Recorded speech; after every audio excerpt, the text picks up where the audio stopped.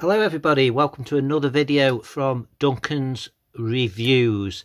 And on this review I'm reviewing the Sebson PIR sensor, it's an internal one for internal lighting.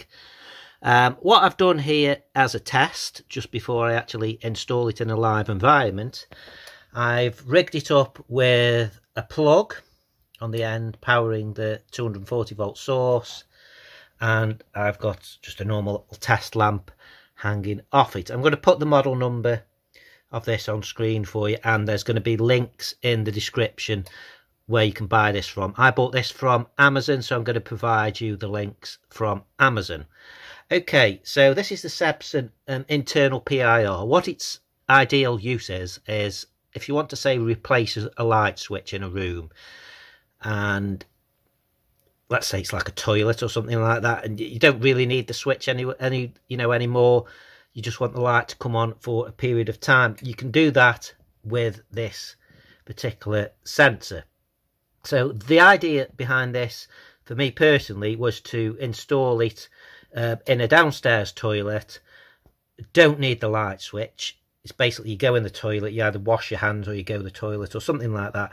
So it's going to set it to stay on for three minutes. It's got multiple times that you can leave it on for and you can adjust them on the actual sensor itself at the side there. So I just want to show you that there. You can have, if you can see that, you can have 10 seconds, 30 seconds, 90 seconds, 3 minutes, 7 minutes or 15 minutes. You can also change the lux setting, which is how much brightness there is in the room before the sensor will kick in. Um, as I say, I'm going to put this in the toilet, so we will, um, at the end of this, this particular video, um, I'll show you working in the um, in the actual toilet where when I've actually installed it. But just for this purpose, it's the same principle and I'm going to show you how to set it up. Now, if you've never wired one of these particular sensors before, it can seem a little bit daunting. You don't just replace the switch. Don't get confused with the wiring. Read the manual. Have a look at what it says in the manual. Let's just have a look at this particular picture, for example. There, it shows it quite clear. You've got your AC supply coming in on the right there live and neutral and you've got a live and neutral coming out going to your bulb. So depending on how your house is wired and how you're putting this in you might have to jig your wiring a bit. I'm going to have to jig my wiring a little bit because um, where this is actually going this sensor's going roughly in the same location that the old light switch was in. Um, now coming from the light switch is just a switch supply. Now this needs its main supply and its switch supply for how it works as per the diagram there. Uh, if we just roll this over you'll see as well how it's actually wired the same as that diagram. You've got your two neutrals joined together in the middle. Um, on the left hand side you've got your AC supply in and then on the right hand side the live there the third pin on the right is your switched live. So my little lamp is off at the moment. So if I was to um, switch him on now. And if I manage to stay still and not move that will go off roughly after 10 seconds. There we go we've gone off now, as if I was to move, again, there you go, the lamp will come back on. It'll stay on for 10 seconds, because that's what it's set to. And then it'll go off again.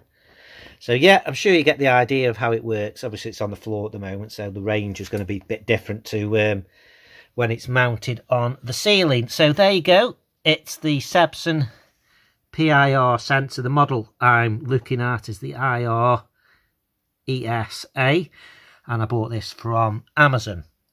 Um, so yeah, I'm going to install it into the ceiling and we'll see how it works.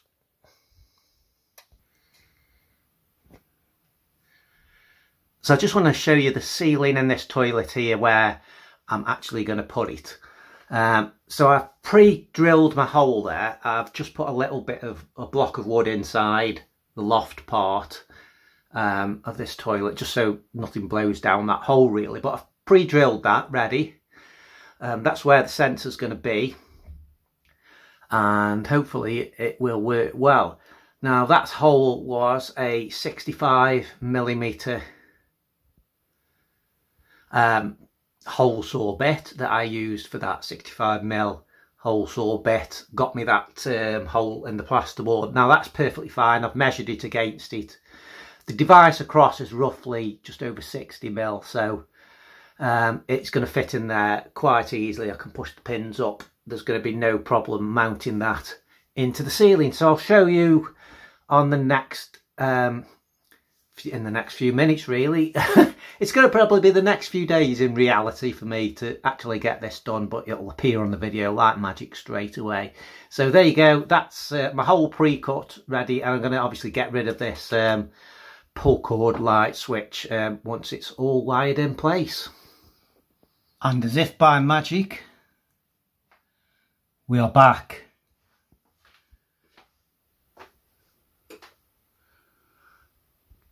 there you go. One working sensor mounted in the ceiling. Excuse the hole, that's the old pull cord, um, which I haven't yet removed. So there you go, I've installed the sensor. It is working fine. There's my light. And there's my sensor. Um, no problems with it, connected it up fine, followed the manual. Um, it seems to work well. It looks nice. Um, obviously, I've got like a magnolia creamy coloured ceiling and the sensor's white, but hey ho, um, you're not really going to get a creamy coloured one, are you? Haven't seen many, but there you go. So that's installed. Now, installation was easy and uh, you've got the time setting that's quite easy to understand. You know, I've got it set on three minutes, so the light will stay on for three minutes and then go off if you happen to be on the toilet longer than three minutes, you just lift an arm up or something and the light will uh, come back on again. But there is one little downside to it. Um, and that is, it's as you see there, it's flush mounted with the plasterboard. Now, if you look how thick my plasterboard is through that hole, it's probably about a centimetre thick. Now, when you look at the sensor, if you ah, like it is now, it's pushed in the ceiling, I've mounted it. If I wanted to adjust that, it's literally the the lux setting is just sitting below the plasterboard, so you can't get a screwdriver in it.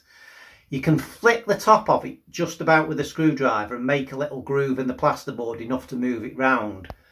Um, but you can't easily move it around. So I've set it to max lux, which is um, only come on at night time when it's dark I've got uh, like blinds in here. There you go. So um, they're pretty much shut most of the time. Uh, so there you go.